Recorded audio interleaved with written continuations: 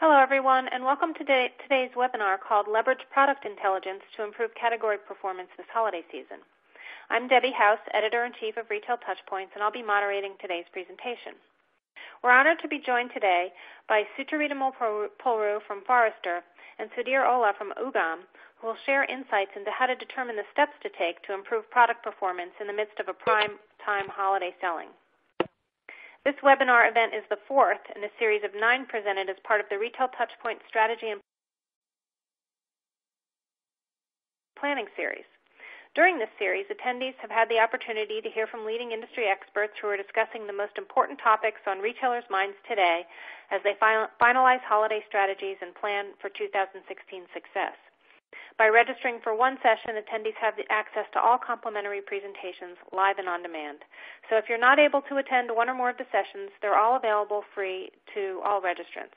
You can access them on demand at your convenience, and to learn more, you can go to the Retail Touchpoints website. We also welcome you to follow this and all other strategy and planning series webinars on Twitter, Twitter using the RSPS15 hashtag. So for today's presentation, we're using the On24 platform. So right now you should be viewing the On24 dashboard, which shows the live viewing screen. By clicking on the questions widget on the right-hand side of the screen, you can type in questions during the live presentation and press submit. You'll also find a widget named Resources under Questions. Here you can download assets our presenters have provided. All you have to do is click on the resource and it'll automatically download. And also be sure to participate in the conversation on Twitter. Using the left-hand side of the screen, you'll see the ongoing conversation with the RSPS15 hashtag. Additionally, we'll be conducting some interactive poll questions with our attendees today. So when it's time to participate, you'll see the poll question appear in the slide view, and then you just click on your selected answer. So for those of you who might be new to Retail Touchpoints, here's a very quick overview. We're an all-digital media company publishing a weekly email and online newsletter, daily news, special reports, and multimedia presentations.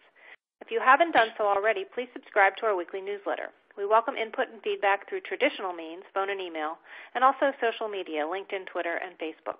Our website is www.retailtouchpoints.com.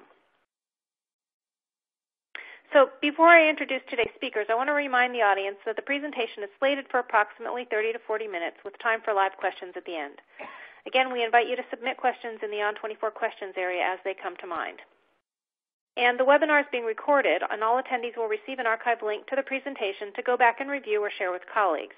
And the pre presentations also will be available via SlideShare. So our first presenter today Sucharita Mulpuru, Vice President, Principal Analyst servicing e-business and channel strategy professionals at Forrester Research. She's a leading expert on e-commerce, multi-channel retail, consumer behavior, and trends in the online shopping space. She's noted authority on technology developments that affect the online commerce industry and vendors that facilitate online marketing and merchandising. In her research, Sucharita covers such consumer-oriented topics as e-commerce forecasting and trends, merchandising best practices, conversion optimization, and social computing in the retail world. She's also authored The State of Retailing Online, which is an annual industry study. And then we'll hear from Sudhir Holla, Senior Vice President of Retail at Ugam. Sudhir is focused on leading Ugam's drive toward actionable insight solutions for the retail industry. He has a wealth of retail industry knowledge with more than 18 years of consulting experience, helping retailers improve their digital commerce and supply chain performance. Sudhir previously worked at Accenture and Infosys, where he established and led the multi-channel commerce practice. He's worked extensively in the area of price intelligence and implementing solutions for retailers. An engineer MBA, Sudhir believes in the power of democratic data to drive retailer decisions on pricing, assortment, and content. So with that, I'm going to turn the presentation over to Sucharita. Welcome to you, Sucharita. Thanks, Debbie. Appreciate the introduction. Um, so what I'm going to do is I'm going to share with you guys a bit of uh, how we see not just pricing, but also just uh, some of the opportunities related to site merchandising um, and uh, and how really product types are going to change in the future. Um, so to start with, I think it's important to recognize the landscape of competition in the retail ecosystem. And uh, the first thing that's incredibly important to keep in mind is that there is competition not just in the internet, um, and that is something that we all are very familiar with, particularly as online growth rates are as large as they are, um, but also in the offline world as well. So what we have here are um, a few data points. The first set on the top are the number of stores, um, and that in that, that, we have web stores on the right hand side of the slide. Essentially all the bricks and mortar stores on the left hand side and it's the growth rate between two, the years 2002 and 2014 and uh, you're probably at some level familiar with the data on the right hand side which is that e-commerce stores um, have exploded and there are now almost um, 750,000 new e-commerce merchants. But there also um, I thought was interesting is nearly a million new physical doors um, that are that have opened in the United States. Now what that means is that the growth in stores has been significantly greater than, of course, the growth in overall retail. So the average revenue per store is substantially lower now than it was in 2002. And that's also something that is important to keep in mind when we hear about declining foot traffic is that um, a lot of that is isn't necessarily due to the internet. It's just due to the amount of competition that we have in the entire retail ecosystem. And uh, because of that competition, it is incredibly difficult to really nudge your key performance indicators. And um, every year with shop.org, um, I put together a retail survey where we survey merchants and ask them their specific um, metrics for their e-commerce websites. And uh, these are basically in the middle columns the average benchmarks that we see for the various metrics that typically an e-commerce company is going to hold itself accountable to. So we know, for instance, that the average retailer sees a site conversion rate of about 2.5%. And interestingly, that figure hasn't budged in nearly a decade. And I have uh, done this survey for, for about a decade. In fact, Forrester did even before I joined Forrester. Um, and these numbers have, uh, have, have barely changed. We're looking at site abandonment rates that are similar repeat customer um, rates, return rates, um, all generally holding pretty steady. Um, and at the same time, these are incredibly important metrics that can help support sales. So really what is the biggest driver of consumers actually buying on the internet isn't necessarily that the improvement in these metrics is as much of a factor as it is that um, more consumers are comfortable purchasing online and you're essentially getting more traffic to websites. Um, so we also see there are a handful of other performance metrics here, particularly toward the bottom of the slide where we're talking about things like customer service costs or fulfillment costs per order, um, marketing costs, new customer acquisition costs, which are are actually the marketing costs are getting higher um, because of the competition with the limited um, media formats that we have. Um, in again the 10 years that we've done this survey, um, uh, tactics like search and email continue to uh, be dominant. And while email um, actually is one tactic where the prices are going down, um, that has always never really been a significant part of the overall marketing mix. It's been more tactics like paid search search, and that's that's not something that is necessarily becoming any cheaper. And then when you look at um, at things like fulfillment costs per order, those too are challenged by um, free shipping offers and uh, the aggressiveness with which the competitive landscape is uh, not just offering free shipping, but shipping things to customers in a very um, fast fashion, and uh, that that certainly puts the pressure on everybody else in the ecosystem to compete effectively. Um, and uh, almost across across the board, it is uh, it's a cost of doing business to spend money on marketing. And um, what we have here are some data again that we collected from retailers through the State of Retailing on, online survey. Um, that was uh, that was sponsored by Shop.org is uh, is essentially the average um, percents um, that various line items within an e-commerce P&L comprise as a percent of the revenue of that e-commerce site. Um, so not surprisingly, your COGS is going to be the highest, and uh, theoretically, um, you know, when your COGS are in the 40% range, that should mean that your contribution margin is pretty strong. But um, you have a whole bunch of other expenses that are essential to an e-commerce business operating, like fulfillment expenses, and uh, your, of course, your your um, your executive team, but um, the uh, the second biggest expense um, that actually comprises um, the uh, the costs for any business um, behind fulfillment is actually the marketing expenditure because it is so competitive and it's so hard to stand out as an e-commerce retailer. Um, now that said, um, there are things that of course companies can do to differentiate themselves um, once they actually get a consumer to spend time on their website, and uh, that's where web merchandising can actually be a substantial way to at least improve the customer experience. And um, Again, this is the data from, from retailers through the State of Retailing Online survey, um, where we essentially asked retailers um, to tell us what are they finding effective and how often are they, how likely are they to actually um, incorporate a certain feature. And uh, we sort of mapped it into four quadrants.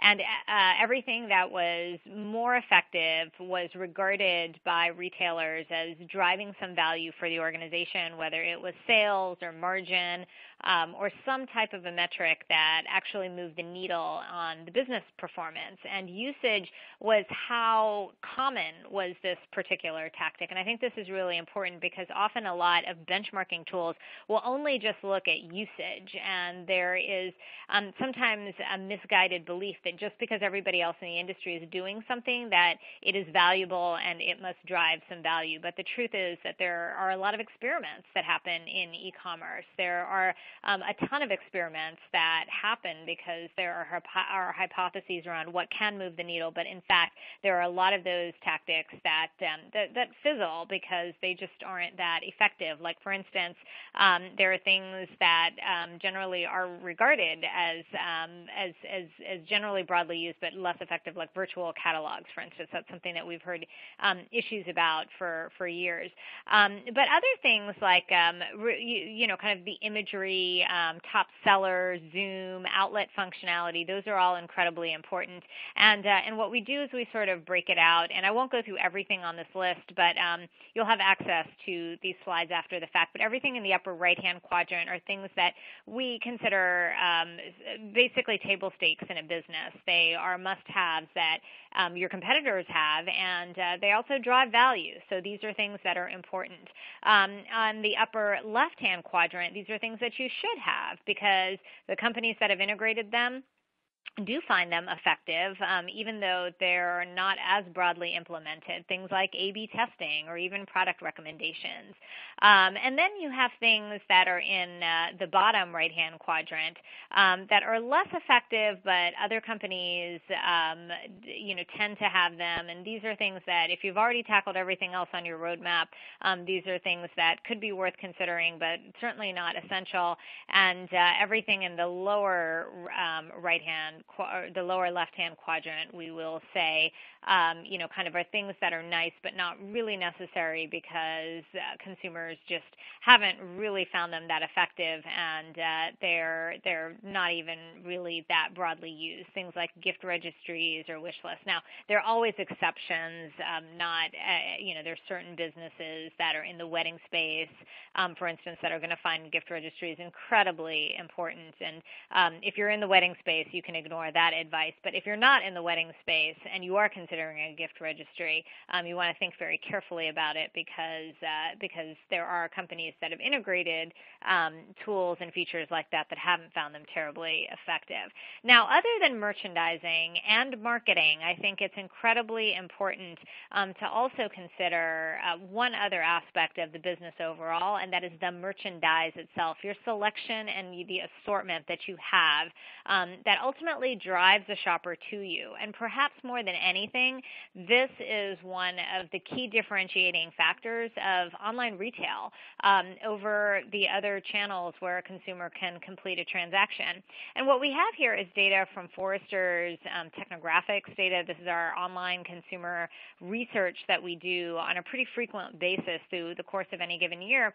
And one of the questions that we ask is why do you shop online and what drives you to shop online and how much do you agree with these statements? And um, almost consistently um, over the years that we've done this, the number one reasons that consumers purchase online, um, and uh, it's it you know kind of may vary in whether it's number one, number two, or number three, depending on the time of year that you do the survey and which particular customers that you ask.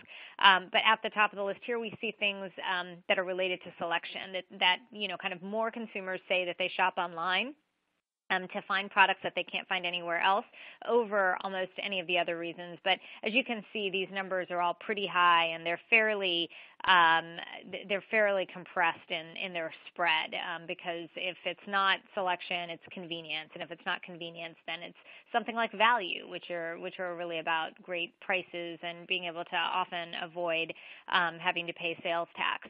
Um, but at the same time, even though selection is one of the reasons that consumers will go to the web to find those items, the sizes that may be difficult to find, or colors that they may not find in their local store, some other um, aspect of a product that isn't broadly available, it's also incredibly important um, to reduce a shopper's stress during the course of that transaction and the course of that search process. And the reason that uh, that that's important is um, is a framework that we had pulled together um, in a report that we put out at Forrester called How People Choose. And basically, what we mapped is um, how urgent is is it that a consumer completes a particular transaction, um, and uh, you know, kind of how much time do they have? Do they need to make it right now? Um, for instance, uh, you know, kind of do you need to fill your tank with gasoline because you're running out of gas? How urgent is it? Um, and uh, and how important is it? And uh, you know, is it a really high stakes decision um, where you are going to be spending a lot of money, or there is a really big risk of making a mistake, or is it a relatively low stakes decision, like um, you know, deciding which um, which uh, brand of yogurt to, to purchase. Um, so based on on you know kind of those two parameters, we sort of broke up you know kind of almost all of your shopping decisions into one of four buckets. They're um, you know urgent in which you know you have little time and it's a high stakes um, investment. Um, a routine decision in which you um, you know kind of may have uh, you know you have you, you know kind of not too much time, but you know kind of it's a low stakes decision. An important decision in which it is higher stakes. Um, but uh, but you may not have time, and then leisure in which it's both high stakes and you do um, be, you know kind of have a lot of time. So it's it's those different characteristics that we're thinking about. And what I would urge you to do is you know kind of for your different products, for your different customers and their different need states, um, where do these decision types fall? And sometimes you know you may have a consumer making an urgent decision with you, but on another day they may be making a leisure decision. You know, kind of if you're an airline travel site, um, it could be that they that a consumer needs to get somewhere tomorrow um, and they need to make a decision right away, or in some cases they may be planning a vacation. And in any case, um, you, you know, kind of there are a lot of uh, challenges that a consumer has, which is the middle section, um, and it can range from uncertainty to um, you know, kind of trying to differentiate amongst all of the different choices that are out there, but but then how consumers ultimately make those decisions based on what the decision type is is uh, is often based on certain types of uh, of cues, and it can be anything from what is going to mitigate my risk in the greatest way, um, what brands do I know already that I can count on that aren't going to disappoint me, which is why you know the yogurt example often has somebody kind of defaulting to the brands that they know, um, and where do things like recommendations or new developments or guidance, where are those particularly um, of use? And those tend to be more in uh, the decisions where there's more time and where a consumer um, is going to invest a little bit more in the research process because they want to be sure to not make um, a mistake. So what we have is uh, is a world in which you know there's more selection and there's more that's available to customers. They have tons of stores, um, and also um, we have an environment where all of that choice often does create stress and it creates uncertainty, and there are opportunities to reduce that stress and uncertainty by guiding shoppers a bit more with what are the um, the better products that they may want to purchase, or what are the ones that um, may be proven in some way that um, that that uh, you know kind of help support um, your relationship with your customers. So it's it's more than just kind of offering every single SKU of a particular item, but also guiding them toward better items that can actually solve um, very pertinent needs that they may have. Um, what we also have is a world in which um, there are more manufacturers essentially going direct to consumer. And the reason for that has a lot to do with the price transparency that's available online. And uh, as you get more price, price transparency available online, and as you um, get uh, more manufacturers comfortable with the notion of selling direct to consumer, and you get um, more um, familiar customers, more consumers who are um, used to and are adapting to purchasing virtually every product from not just consumer electronics, but appliances and furniture online, um, you have uh, the world of brands bifurcating into two big buckets. And on the right hand extreme, you have highly protected brands who essentially dictate the terms that um, their customers, their retail distributors, um, have with them. And, um, and we know what, who all these brands are. They're, um, they're really the powerhouses of the branding world and uh, they are companies that have their own stores and are very formidable in their presence, in their store presences. Companies like Apple, Nike, um, Nespresso, and Louis Vuitton are uh, four of the examples that I would point out here. And then on the other extreme, you have highly commoditized brands. These are brands that um, that consumers uh, may be comfortable with and may default to because they've heard them somewhere and they know that it's a solid product. But these are not brands that consumers seek out um, to do business with. These are brands that um, that essentially um, you know get the job done, and uh, these are also brands that are highly prone to uh, being knocked off in a private label format because um, because the consumer doesn't always seek out um, the brand. The consumer just seeks out the solution that that that uh, that product serves. And um, if there is a comparable um, product that is priced um, sometimes even lower than these brands, that becomes a very attractive alternative. And sometimes there are companies in the middle that may not have exactly a store presence, but they do try to protect themselves a little bit,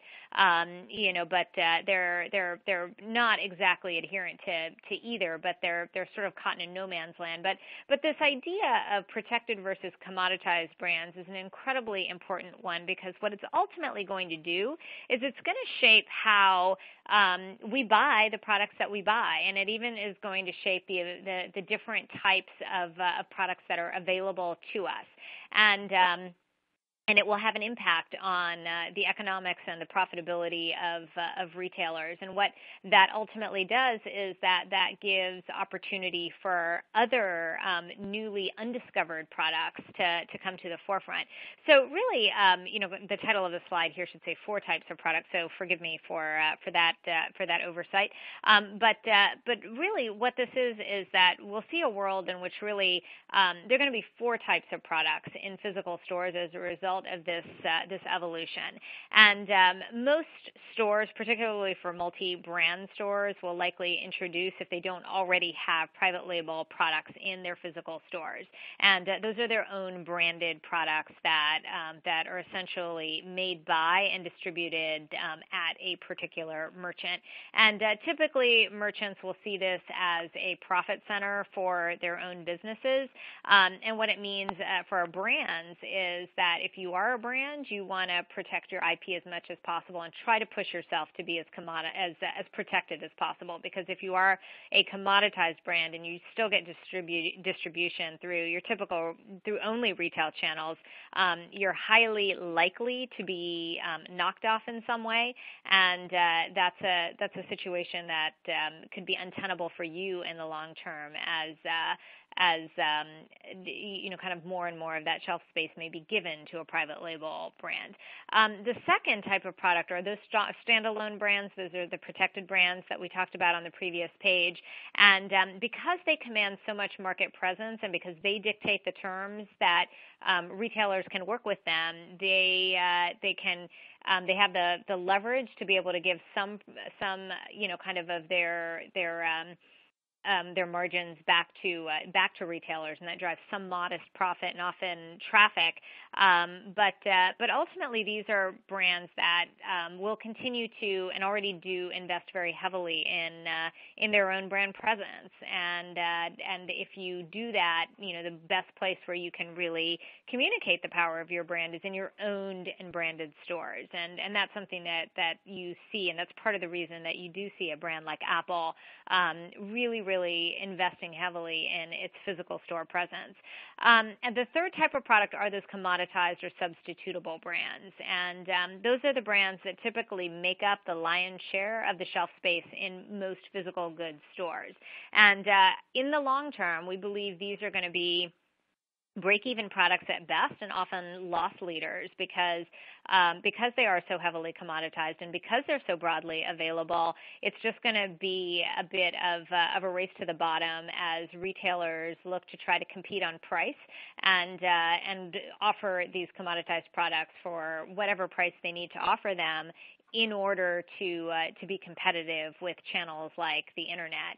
And uh, and the challenge is that these businesses are likely um, going to continue to be squeezed from a margin standpoint. And whereas in the past they may have been protected by um, the fact that the internet didn't exist, or by the fact that uh, consumers didn't um, weren't easily able to shop around for a product, um, that uh, that that's changed now. And uh, these companies, unless they do have a very specific and formidable um, intellectual property advantage, they are likely to uh, to simply um, be be squeezed. And then the fourth most important and interesting area that we see a change in retail, and I think that um, this flows into some of the uh, the opportunities that Ugam has, which is uh, it's about unique long tail items making their way not just into physical stores, but also into online channels. And uh, we really believe that these have also huge opportunities to deliver profit centers for retail stores. And uh, it's not easy to do because, uh, you know, kind of long tail items can can quickly, um, you know, kind of disappear, or they're hard to find, or um, they themselves can be challenged. Um, but uh, but the truth is is that um, these are these are products that have an opportunity to um, serve niche audiences. Um, they're an opportunity to create um, a bit of an innovation lab um, type experience for your own private label goods. Um, but these are ways to find diamonds in the rough that could essentially help to fuel your product pipeline because I think in all of our conversations that we have in retail about how do you compete, how do you deliver a better customer experience, the main reason that consumers shop at most stores is because of ultimately the merchandise that is sold at those stores, and um, and you want to uh, take advantage of that. And this applies. Um, this fourth category applies not just to uh, to retailers but to brands as well. Um, so I think that these are things that are incredibly important um, to keep in mind. So at this point, I'm going to transition to Sudhir, and uh, there are a few poll questions that I think that he has to to make that transition. Yeah, this is Debbie. I'm going to jump in with the first poll question. Um, so this is the time we'd like to get our attendees involved in the conversation. Um, and here's the question, and, and, I'll read the answers, and please, um, you know, submit your your answer as soon as you uh, have one. So, what do you think is the most effective lever in increasing conversion? Um, is it better marketing promotions, better user experience, lower prices, better Google ranking? Um, or more reviews. Um, so take a minute, think about those. I, I, know it could be tough to decide between one or the other at, uh, at first, but think about which is the most effective lever in increasing conversion. Share your answer with us, and then we'll take a look at the results.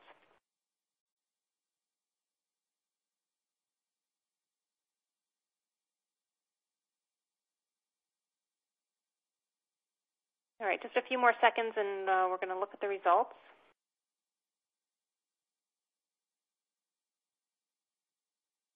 So here we have a, a, pretty good mix of responses. And um, Sudhir, I thought maybe you'd like to jump in and kind of um, give us your insights on, on the results of this question. Uh, sure. I mean, I, I think uh, uh the results by uh, you know speak for themselves. Um, at least mm-hmm. the better user experience again, right? I mean, uh, it talks to the point that Sucharita made earlier about about a more engaging experience, and that being the differentiator. I think to a large extent, price is becoming very transparent across. Uh, so we're going to talk a bit about this as I, as I get into the rest of the presentation as well. Uh, and, we, and we'll, we'll, visit each one of these and, and the impact it has uh, on, on not just uh, conversion, but also traffic. Now, uh, so, uh, so shout out to Sucharita there for that engaging presentation and insights into different product types and the associated trends. Um, and the, the, the observation that uh, you know, the lines somewhat seem to be blurring between retailers uh, and brands. Uh, and it would be it would be kind of interesting to see the business models that emerge as a result, right? So you have the brands going directly to the consumers, you have the retailers getting into private labels. So it makes for an interesting ecosystem there. Uh, now, my section of the presentation is going to be focused on how product intelligence can be leveraged to drive category performance. Uh, now, product intelligence here I'm defining as a set of capabilities uh, and technologies to collect and aggregate data around a category and products within that category to identify trends and to be able to take actionable insights around merchandising decisions. Now, uh, so I'm going to start with a, with a bit of a teaser there. So what do you think is common across these three products? Uh, the first one is a product called Poo-Pourri.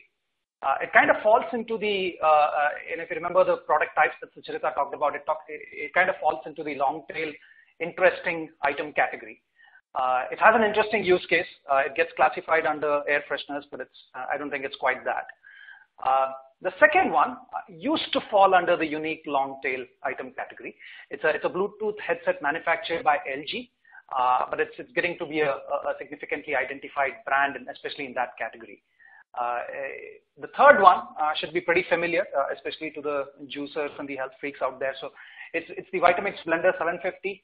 Uh, this kind of falls into the standalone brand uh, category that Sucharita talked about. So the question is, you know, what do you think? What do you think is common across all of these products? Now let's take it the let's take a look at the first one. Uh, this is this is the Poo-Pourri, right? Uh, so this product does get classified under air freshness, uh, but that doesn't quite begin to describe what the product is all about. Now, for for figuring out what the product is all about, you need to look at the interesting YouTube videos that they have out there for this particular product. It's based in my hometown, Dallas and I started to create quite the buzz. Uh, now, to the point that Sucharita made earlier, now whether this buzz lasts or is this a temporary fad uh, kind of remains to be seen. However, if you look at the reviews, uh, now uh, this is the review count of that particular product across retailers that carry that product over a period of time. Now, as you can see, the product did reasonably well in 2012, and in 2013-14, the product really took off. And it shows a similar trend when you look at the, uh, the number of consumer searches on this particular product. Now the question here is, you know, how do you think the product is going to do well in the holiday season? Will it make for a good gift? Now last year, if you look at the, the consumer search trends associated with this product in the October-November timeframe, the product did spike significantly at interest levels in the holiday season. Uh, so, uh, so it did make for a, uh, for a good gift. A lot of people bought into this product. Uh, will it do so again this year? Now, if you look at the search trends again and you look at the reviews and the rate of growth of reviews, uh, it's at least our prediction that the product will do well. Uh, so you will see a spike in the holiday period, but with a reduced amplitude. Let's take a different example. Uh, let's look at the, uh, the, these two Bluetooth headsets. Now, the one on the left is, uh, is the LG Bluetooth headset that I, um, that I talked about. it's, it's priced at $69.99. The second one is by Plantronics. Uh, it's, a, it's called the Plantronics M50 product, uh, priced at $29.99. Now, if a, if a retailer were to go purely by NPD Nielsen data um, and, and ask us to, you know, which of these two products will do well in the holiday season, uh, most of them would probably bet um, or would, would have bet uh, on the on the M50 product. Uh, it's a it's a it's a recognized brand name. Uh, Plantronics is known for uh, for their Bluetooth headset. It's a very popular product. Um, so, uh, but let's look at what the what the consumer uh, demand signals say. Now the first chart here is that of reviews. This is the rate of growth. This is the reviews of each of those products over a period of time. Now look at the slope there. Um, the in the in the 2012 time frame, uh, you know the, the, the Plantronics M50 was definitely popular. Uh, but if you look at between 2013 14, and you look at the trend there, the you know the winner by by a long margin is, LG. Uh, look at the second chart, which is the search volume associated with this product uh, uh, from from Google. And again, the, winner by a huge margin is LG. Right. So so looking at the products and the reviews, uh, and you know, we just looked at two of the demand signals here, reviews and search. There are other demand signals that can be collected uh, uh um, with, each product. It, kind of tells us which products is going to do well. Uh, but, but do they really tell us why? Um, I, have a, I have a confession to make, right? I, I, I, I hear voices, um, and, and voices directly from the consumer. Uh, and it, it, sounds creepy, I know, uh, but it's true. Um, I, I don't see dead people yet. Uh, but I do hear voices. Uh, I do see some dead retailers and some uh, and some zombie retailers. Um, but I'm going to move on from the from the lame Halloween jokes. the point here to make is these voices tell me things, right? So if you look at the Bluetooth headsets as an example, uh, and you look at uh, the product, every product is made up of attributes. Attributes could be brand, style, features. Now, when you break a product down to its attributes, it tells us a story. Fact is that with smartphones, stereo as an attribute has really taken off, which is the which is the fourth uh, attribute here. Uh, logical when you think about it, right? Smartphones, I used to listen to music, but now uh, you know I can and also make phone calls. So it's it's it's logical with the trend towards smartphones. Behind the uh, behind the head as a style has gone up too. Uh, right over the ear has gone down. It's more comfortable to wear, activity friendly. I can wear it while running.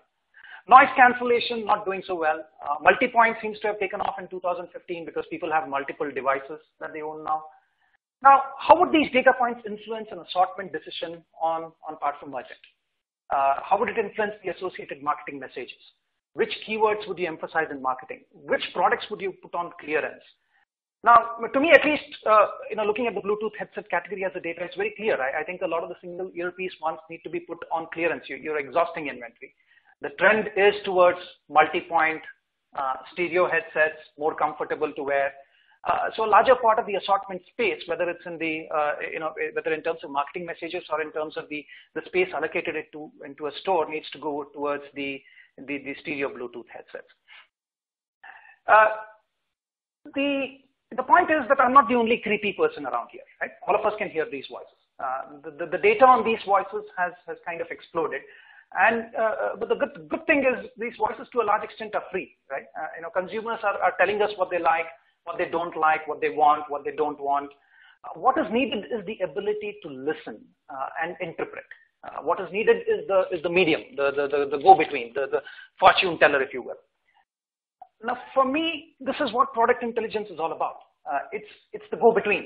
It's the set of capability and technology that enables you to listen to what consumers are telling you analyzing them for insights, and applying them to improve merchandise performance. That's what product intelligence is all about. It's a combination of data, technology, and analytics that help us analyze consumer preference and behavior on product and, and category preferences and, and, and trends. Now, uh, how do I apply this uh, to retail? Now, when you, when you fundamentally look at retail, retail is about leveraging assets right? So it's a, you know, I could have a brick and mortar asset, uh, which is, uh, uh, or I could have a web store, right? So these are properties I own, and these properties exist for a reason. They, they, they exist to get you traffic, and it's your goal to try and convert a portion of that traffic uh, and make them a make them a buyer. Uh, the, the, goal is, is, is, is, the same whether it's a, it's a web property or, or a store property to get you traffic and get you conversion. Now, when you look at the several factors that, that impact uh, uh, traffic and conversion, the one that comes most to mind is price and promotion. And I'm glad to see in the survey that that's not the most, um, uh, most identified item now. Uh, but it is the, the easiest to apply, right? I mean, it's, uh, you know, to do a price reduction is easy. But it's expensive to maintain because it has an impact on the overall margin dollars. And what we've seen is this is what tends to happen. So the graph shows a particular product uh, they start out at different price points. Uh, but because there is uh, uh, there is transparency in the price, it leads to convergence. So for a vast majority of the commodity products that, that Sucharita talked about earlier in her presentation, price transparency leads to convergence. Now for the standalone brands, price is dictated by the brand, so it becomes less of an influence. So let's look at what are the other factors that are out there which can help us uh, influence uh, traffic and conversions. Uh, now the, the, the, the, orange boxes indicate those factors uh, and the figures there indicate the extent of correlation between those parameters and the two KPIs that we are talking about, traffic and conversion. Right? So the higher the correlation, the more is the impact on traffic and conversion. Now, if you look at uh, traffic on the left-hand side, it's still a function of referrals and backlinks. Uh, and in case of a brick and mortar store, it's, a, it's significantly a function of location as well. Um, and it's about pleasing the Google God with search engine optimization. Right? Um, the more engaging the content of the message, which comes to the product page content there, uh, the more engaging the store experience, higher the traffic. Higher the referrals, higher the traffic. Now let's look at conversion. Now, while price and promotion still have the highest impact on conversion, next comes reviews, and some of you have pointed that out in uh, in the in the poll results, right? Um, reviews have a log-log relationship, however. Uh, you know, in non-geek language, what that means is the impact of the first few reviews is significantly higher than the subsequent reviews. In addition to reviews, engaging content on the product page or in the store also matters. Let's look at one more example. This is the 750 Vitamix 750 blender that I'm that I talked about earlier. It's it's, it's doing really well. Uh, demand signals are excellent on this product. Now, now, if I look at the two retailers who carry this product, so, the, so retailer number one is carrying the product on the left-hand side. Retailer number two, the same product uh, but different retailer. Right? Um, at the same price, uh, because as Sucharita pointed out, this is Vitamix. Uh, they um, um, they are a well-known brand and they do have the ability to control the prices and the brand experience to some extent. Now, which one of these do you think will sell more? Uh, the retailer on the left had good reviews, had a great image, uh, ranked high on Google. Uh, they were, I think, uh, uh, the number three on the first page of Google. And the blender was one of the top most selling items. Retailer number two on the right-hand side had it at the same price. Well-known retailer again. Had no reviews, however. Had used the manufacturer supplied image and was ranked on page three on Google results. Uh, and uh, you know the item didn't even make it to the, the, the, top 30 percentile in terms of the sales volume. Now, if I make this uh, a few tweaks, right? I'm still not touching price, however. I, I, I, made the image more colorful. Uh, I've increased the reviews based on a focused effort to obtain reviews for this product. Now, I'm not doing a review campaign to increase reviews for all products. I'm, I'm focusing on the products where I'm going to see a significant ROI. Um, no change in price, better uh, content. Uh, we saw a significant increase in sales with no compromise on margin dollars. All because we took a product that was already doing well in the market, right? So this product had the wind behind its back, uh, you know, the significant demand there. And as opposed to dropping price, address the areas that needed attention. In this case, the attention was, was on consumer engagement. The same exercise can be done at scale as well. Uh, this graph shows the conversion for a particular category over time. The, the, blue line is the actual conversion. The black line is the moving average of conversion over time. Now, as you can see in this particular retailer, uh, the, the, conversion was dropping. Uh, now, sometime in the August time frame, uh, there were content interventions that were applied. No change on price, without changing any price. So there were some targeted content interventions in the August time frame, and you can see the results the, the conversion increased significantly. And all the increase in conversion adds to the bottom line since there's no changes to the price. Um, now, let's look at a different example this time. Uh, fisherman sandals, uh, a, a, very exotic category. Uh, the product on the left is the, is the Keen Newport H2. Uh, which is a very popular uh, sandal, uh, great um, reviews from hikers. 2,000 reviews, will continue to do well. The second one on the on the right hand side is the Pacific Chasqui sandal. Good reviews. It kind of is similar to you know a, a lesser known uh, product. Um, price significantly lower than Keen. But if you look at the the cross sell traffic there, uh, the, the the indicator there. On the first one, the cross sell traffic is 30%. On the Pacific Trail Chasqui, the cross sell traffic is 60%. Now, what I mean by cross sell traffic is the traffic that comes to these product through recommendations or through other product pages or through buying guides. Essentially means that customers come to the site uh, looking for the Keen Newport H2, which is the first product, but they get guided towards the Pacific Trail Chasqui. So they have to find it. They, you know, they're looking for the, the particular saddle.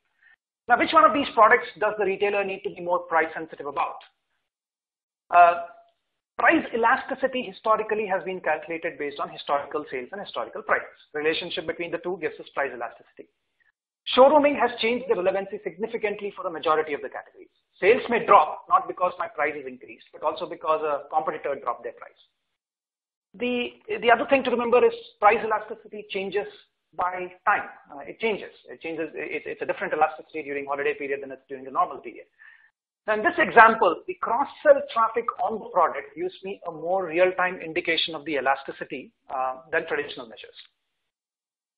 Let's look at what the data uh, has to say about that. Uh, here's a data table that illustrates what we just talked about. The x-axis is the price competitiveness. As you move from left to right, the, uh, the price competitiveness improves. You become more and more competitive with respect to your price. The y-axis is loyalty, uh, which is essentially a measure of what percentage of the traffic comes from cross-sell as opposed to a consumer looking for the best price. So as you go down, the loyalty uh, or the loyalty quotient of that particular product increases. And the values in the table there are, uh, are the conversion uh, as a multiple of the lowest conversion factor out there. Now, as you can see, the conversion on a property increases with price competitiveness, right? Not, not rocket science. Uh, you know, you reduce your price, you improve your price competitiveness in the market, your conversion improves. Your conversion also increases with loyalty. You know, and no rocket science there either, right? So you have more loyal customers, your price competitiveness or uh, your uh, your conversion has to has to improve. What's interesting though is the scale of increase. Now, if you look at the low loyalty traffic there, the conversion has increased from X to 6.x, 6x increase in conversion. If you look at the high loyalty there, the loyalty has increased from 10.4x to 16.4x. So the price sensitivity of products which fall into the low loyalty traffic is very different from that of high loyalty traffic. Now the function is, in essence, we, what we're saying is the price sensitivity is, is lower in traffic that is more loyal. Now, I can apply this and apply this data to, to make more intelligent pricing decisions as opposed to you know, matching a, a competitor's price. And the next slide kind of illustrates that. Um, we strongly believe that competitor prices uh, provide data points, uh, but cannot and should not be used as the only variable to trigger a price action. Uh, you know, look at look at the the conversion here. The graph indicates conversion, uh, and it's got an upper limit and a lower limit. Uh, now, what we are what we are recommending is that you look at conversion with respect to that upper limit and lower limit. So whenever conversion drops below a certain threshold, it's an indication of something happening in the market. It could be because a, a, a competitor has reduced their price, therefore your conversion has dropped. It could be that a newer model has been introduced, or it could be bad news related to the brand in terms of you know some recalls. Uh, now the trigger for the price change is the conversion dropping below that predefined threshold, uh, and then you make a price change uh, to get you back into that margin maximization range. And similarly, when conversion goes above a certain threshold, that's an indication that the demand has far exceeded the supply. It's going, uh, the product is doing well for a certain reason. It could be a trigger for an increase in price. The idea here is, is, is to use price as a lever to skim margins and avoid drops in margin where, where it is not required. Um, now, if I put all of this together, uh, this is how product intelligence can be leveraged to help improve merchandise performance. Uh, it can help identify targeted interventions across assortment, content, and price that help improve the efficiency of the conversion funnel. So the first question that we are trying to answer is, is there enough demand for the product, right? So you, you, you looked at the Poo-Pourri example or the LG Bluetooth headset example, and you, you first assess as to, you know, whether there are enough demand, signal, demand signals associated with that product or that category of products. Now, if there is, to what extent am I getting a share of that demand? Um, is the demand coming my way or is it going to my competitors? How do I get a share of that particular demand? Now, the first two questions help us identify merchandising assortment interventions, address assortment gaps, or undertaking, uh, undertake marketing and SEO interventions to help improve traffic. Now, if there indeed is traffic, uh, let's say, you know, as a retailer, you're doing well, you're getting a significant portion of the traffic, but, you, but your conversion uh, is low it essentially points to two levers, right? So one is price, uh, is, is, is, one of the levers. The second is the content, which uh, kind of is a placeholder there for the entire store experience and the page uh, and, the, and, the, product page there. Price has a higher lever towards uh, driving conversion, but it's more expensive. It, it, it, reduces the margin. content provides a higher margin lift. Now, using both in conjunction and understanding the trade-offs between the two uh, helps maximize margin dollars. Now, uh, at Ugam, we work with nine of the top 25 retailers, so we have data. We have, we have lots of data, huge volumes of data. So we did a statistical analysis to see if we can use these, uh, you know, footprints that I talked about, right? So, so reviews, searches, backlinks, uh, and other demand signals to predict the relative ranking of a product. Uh, um, so we got, we got an accuracy of around 60%, right? And our ability to predict ranking to a plus or minus 20. Our ability to predict the top 100 in a category was around 80%. And this is not, not, not bad, right, for, for free information. Our challenge at Ugam is to improve this further. Our goal is to kind of build the LinkedIn of product and become the, the, the so-called fortune teller of the, of the medium the product intelligence space. Um, and give us a category and we'll tell you, uh, you know, the, you know, the, uh, the, the, products and the categories and the, and the, and the attributes that are trending. Uh, these are the results that we have seen at a category level uh, from these various interventions. Um, you know, 7.5% increase in sales, 21 basis points improvement in conversion, 3.75% increase in margin dollars, and so on and so forth. So these interventions are applied at different times in the cycle, though. Uh, assortment is during the uh, you know buying season, um, content post buying, and sometimes in season, and the price is in season. Uh, so that's all I had. Uh, uh, thanks for being a patient audience. I'm going to hand it back uh, to Debbie for another poll question. And this is despite me telling the marketing department that I can hear voices and therefore need no polls. Um, Debbie, back to you. Thanks, Sudhir. Thank you. A lot of great information and a lot for all of us to think about, both from you and um, from Sucharita. So uh, uh, I want to quickly go through our next poll question, then we'll have time um, for Q&A for just a few minutes before we wrap up. So um, getting our attendees back involved, um, the question is, where do you currently get your product intelligence from? Um, do you get it from your merchant's gut feeling, from suppliers? Do you get it from third-party market research agencies such as NPD, Nielsen? Um, do you get your product intelligence from customers uh, or from last year's sales numbers? So where do you primarily get your product intelligence from?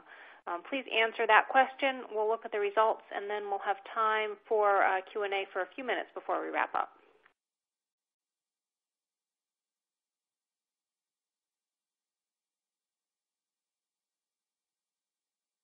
All right, in the interest of time, I'm just going to give it a few more seconds. We'll take a quick look. And we see that uh, customers and last year's sales numbers are their primary resources. Um, so Sudhir uh, or Sucharita, do you have any thoughts on, on this question that you want to share? Uh, sure. I would add that I think um, a lot of these elements of product intelligence are uh, are evolving and growing, and uh, that's one of the the components that's really different now is that we can use data to gather much more product intelligence than I think retailers had had before. Um, and uh, historically, it uh, was, of course, based on sales numbers because that's really um, as much as you could capture. But things are changing so quickly, and merchandising um, hasn't necessarily um, changed as fast to adapt to, to those uh, differences. Right, terrific. Um, so, Sudhir, um, I have a question for you.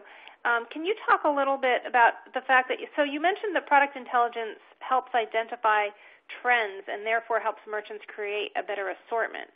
Can you talk a little bit more specifically about the types of trends that product intelligence helps identify, and how do you separate out the short-term trends versus long-term trends? Uh, that's that, that's a that's a great question. So now, uh, when, when you look at the demand signals out there, right? Um, uh, the idea is that the, the, the uh, so you have your world's biggest consumer base there, which is people who are basically searching, right, or, or posting. So the so the extent of social data or search volume or search data has increased. Now, the in being able to identify a trend, it is important to be able to marry those search terms or reviews with a product and the associated attributes. And you need to be able to do it at scale. It's not just about mapping for the first top three products or the top 10 products. It's about mapping for all the products out there which exist in a category and then mapping it at scale across these set of products and see, okay, what, what the trend is there. Um, and when you look at the, the, look at the, the numbers there, so for example, uh, I, you know, the Poo-Pourri example that I talked about, I said I made a prediction saying that, look, I mean, it's going to do well this holiday period. I see a decreasing amplitude, right? So I I definitely see that as a as a bit of a fad right now. Whether that converts into anything long term, I have my doubts. Um, and the, it's kind of similar to the Angry Birds thing there, and you can see that in the data, right? So so when you look at the number of people searching for it last year versus this year, and you look at the rate of increase of reviews or rate of increase of search uh, searches on that on that particular product, you can see that while there is an interest, and from uh, uh, uh, you know from an, from an earlier period to this period, the, the interest is increasing, but the rate of increase is, is lower, and you can make interpretations therefore uh, of of the of the direction of the trend and the and the amplitude or the magnitude of the trend. All right, terrific. Um, so I think that we have time for maybe one more question, and then we'll wrap up. Um, so Sucharita, you were talking about marketing expenses and that they are generally high right now. Um, where do you see that going? Do you see that changing much? Do you think that um, you know people are companies are going to be focusing on marketing more or less in the future? Um, I don't see any situation where companies won't focus on marketing into the future because it is so important in a competitive landscape. And um, you, you know there are so many examples of companies that may come out of the gate really quickly because social networks amplify um, their launch, but then within 12 months, um, their you know that that uh, that energy is completely gone. So um, you, you know if you're there to just be a flash in the pan, I suppose you don't need marketing. But if you're trying to build a long-term sustainable plan and a brand, there's no way that you can get away from marketing. And uh, the number of marketing channels that exist are really limited. Um, you know, I mean, I would argue that um, you know it's almost oligopolistic in nature. Um, you know, kind of what are the channels that you even have available to you to get um, you know kind of mind share um, on on the internet. So um, you, you know, kind of that. So and and those those prices are not going down when you look at paid search or or or even you know kind of Facebook ads. Those or display any type of display ads. Um, you know, companies are getting better at making them more effective, but those prices aren't going down. And then you're left with, well, what are my other channels? And that's where things like direct mail come back into the equation um, or catalogs, and uh, those are definitely not cheap either. So um, the, this is just one of the you know the cost of doing business as you uh, as you as you try to um, make your way amidst um, the the competition that exists in the retail world. Absolutely. All right. Well, thank you again, both, both of you, for your insights. And um, we're, we're running out of time. I know we didn't get to answer everyone's questions, but we have them available to our speakers who can uh, reach out to you afterwards. Um, so again, I want to thank Sucharita and Sudhir, and I want to thank all of our attendees for participating, listening, and, and participating in our poll questions. Um, our next session in the strategy and planning series is tomorrow at 12 noon, and it's called Mobile in the Workplace. What are you so afraid of? So it should be, should be a great conversation tomorrow. Please join us at 12 noon. Um, we have a few more sessions in the series uh, leading up to Friday. And um, again, if you don't get a chance to attend them live, they're available on demand. So uh, again, thanks everybody for attending, and we're going to wrap up and uh, enjoy the rest of your day.